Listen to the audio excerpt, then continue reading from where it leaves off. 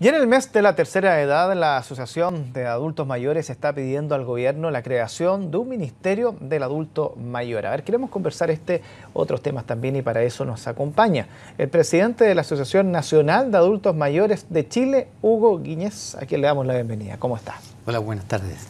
Bien, a ver, este ministerio, ¿usted lo viene solicitando hace ya cuánto tiempo?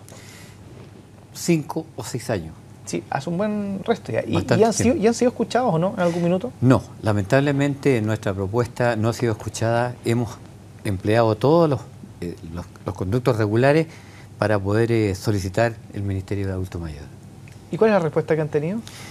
Eh, yo diría, en cierta forma, silencio, muy bien acogidos, pero no, no se ha solucionado, no hemos logrado nada.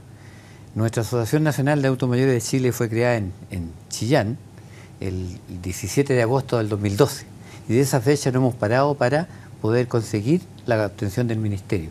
La única forma que nosotros estimamos que podamos nosotros solucionar los problemas reales que tiene el adulto mayor. Eso, eh, porque ¿cuáles son, para, para, para, canalizar un poco todo esto, cuáles son los grandes problemas que tienen ustedes que justificarían en el fondo sí o sí tener un ministerio? Sí, lamentablemente eh, todos sabemos y se ha dicho mucho que el, mundo está envejeciendo y Chile también, entonces nosotros eh, pretendemos mejorar la calidad de vida del, del adulto mayor, el cual nosotros nos sentimos discriminados, nos sentimos olvidados y nos sentimos en cierta forma postergados, porque la calidad de vida que tenemos los adultos mayores en general es bastante mala. Y nosotros siendo un gran porcentaje de la sociedad chilena, aspiramos a tener un lugar diferente y por lo tanto hemos, ido solicitando eh, esta, esta, realidad para mejorar la calidad de vida del adulto mayor. Estamos hablando de un universo de cuántas personas? Tres millones de adultos mayores en Chile. Somos casi un 20% de la población, que por decirlo somos bastante. Incluso nosotros quisiéramos, pues, si, hubiera una unidad completa nuestra, podríamos tener, sacar un presidente de la República. Porque, a ver, ustedes, están los problemas de salud propiamente tal, que puedan tener algunos más, otros menos. Están los temas relacionados con las pensiones, que es no menor.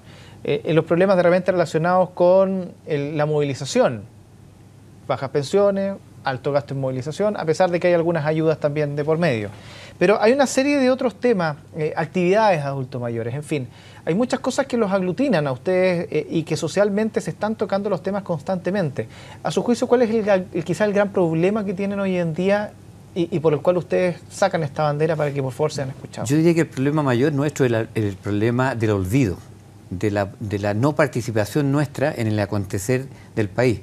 Nosotros creemos un ministerio precisamente por eso, porque nosotros través del ministerio queremos algunos objetivos bien específicos, que son obtener el ministerio, una ley integral y poder eh, tener una gran asociación nacional, que la que tenemos, eh, con mayor eh, fuerza para poder conseguir las cosas. Ahora, ¿qué, ¿hacia dónde apunta esto? Nosotros tenemos problemas en salud, en educación, en transporte, en vivienda, en trabajo, y la seguridad eh, y la seguridad personal que siempre el adulto mayor está expuesto a digamos a cualquier situación. Ahora eh, con esto con estos objetivos nosotros pretendemos solucionar la gran el gran porcentaje de adultos mayores que estamos viviendo con unas pensiones pero paupérrimas. Es indigno, realmente indigno las pensiones que estamos percibiendo. Entonces nuestro, nuestra voz apunta hacia allá. Nosotros, por lo tanto, queremos que se, nos escuche y hemos logrado algunas cosas. Hemos intentado que nos escuche, hemos, eh, eh, digamos, protocolarmente, respetando algunos conductos. Hemos llegado a través de los alcaldes, intendentes, yo diría el Congreso, estuvimos ya en el Congreso, y nosotros pretendemos, incluso tuvimos en la, eh, le solicitamos a la Presidenta de la República una, entrevista y lamentablemente por agenda nos dijo que no nos podía recibir cuando sabemos que ha recibido a otras personas, digamos en el sentido a otros, eh, qué sé yo, artistas o otras personas y nosotros no hemos tenido. Entonces consideramos que somos realmente los últimos, de los últimos sectores de la sociedad. En consecuencia que nosotros hemos entregado al país nosotros tantas cosas, tanta historia y nuestro esfuerzo ha sido para que el país se desarrolle. Sin embargo, somos realmente postergados. Pero llama la atención, ¿eh? porque a nivel parlamentario eh, eh, el, tema, así como es el de los menores, el del adulto mayor es constante. Siempre hay algún parlamentario que está hablando o está proponiendo ciertos temas. Pero, ¿qué pasa que entre esa propuesta no se lleva finalmente a un Exactamente, justamente eso lo que ocurre es que se habla mucho del adulto mayor, pero no se hace nada. En este minuto nosotros estamos, eh, felizmente a mí, eh, tuve la oportunidad de hablar con la senadora Lili Pérez y a través de ella pudimos conseguir nosotros que se nos esté viendo más, con, digamos, con mayor cercanía. Le estamos pidiendo que se haga una ley, ¿no es cierto?, para hacer que el adulto mayor logre el ministerio, se presente y realmente los problemas del adulto mayor sean de la realidad de la vida nuestra. Se habla mucho, hoy día en las campañas políticas están hablando todo el mundo del adulto mayor, pero ¿qué se ha hecho? Nada. En este minuto nosotros no tenemos nada. Y el adulto mayor se ha organizado en Chile de tal manera que somos, yo diría, uno de los eh, sectores de la sociedad mejor organizados, pero que tampoco lo hemos logrado. Entonces, por eso que nosotros optamos, la Asociación Nacional, por una cosa bien específica. Nosotros queremos un ministerio, queremos que, eh, solucionar los problemas a través del ministerio para eh, que la sociedad se dé cuenta. La imagen del adulto mayor está distorsionada. Se piensa que nosotros ya estamos, debiéramos estar en otra, debiéramos estar descansando, al adulto mayor se le entregan los paseos, se le entrega, digamos, la recreación, muy bienvenido sea eso, pero nosotros queremos los problemas de la solución en salud, en la atención en los hospitales, la atención en el transporte, que nosotros en ese minuto estamos muy carentes de esa situación, los medicamentos. miren, nosotros pensamos que sin ninguna, sin buena salud, nosotros no, podemos tener un, desempeño eficiente. Pero esto también no pasará por un, por un tema de cultura social chilena, considerando que quizás en los países europeos, por ejemplo, eh, y ocurre en todas las profesiones, mientras más edad, más experiencia, más se valora y para qué en, en otras sociedades orientales donde el adulto mayor es prácticamente el intocable en el sentido de que se le mira hacia arriba y se le respeta y se le valora socialmente también.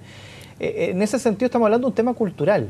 Entonces, ¿cómo ustedes podrían intentar cambiar o, avanzar hacia algo que está súper como compenetrado en la, sociedad chilena? Ese día, ¿para qué decir? En el trabajo uno ya tiene 40, 45 años y es considerado en muchos lados viejo ya. Yo partí diciéndole que nosotros no hemos sido escuchados. El, trato de nosotros es, es, discriminatorio, entonces se nos posterga. Entonces, precisamente por eso, yo opté por lo siguiente. Yo soy candidato a alcalde en este minuto por la ciudad de Chillán para poder tener una plataforma mayor, para poder, ya estoy ganando, yo ya estoy apareciendo en los medios, cosa que es muy difícil para nosotros. A nosotros, a ver, ¿cómo le dijera? Es, el contrasentido es tremendo. Antiguamente el adulto mayor era respetado, venerado. En los países desarrollados hoy día es muy bien considerado en este minuto, como el mundo está envejeciendo, incluso la fuerza laboral, nosotros en unos años más se nos va a pedir, se nos va a rogar que podamos trabajar en consecuencia que todavía encontramos esa resistencia porque no se ha dado el problema. Pero nosotros a través de, lo que yo pretendo hacer, como le digo, yo me considero yo ganador en este instante porque ya nos están escuchando. Entonces nosotros hemos intentado en varias formas hacernos escuchar, pero no hay, no hay eco para nuestras propuestas.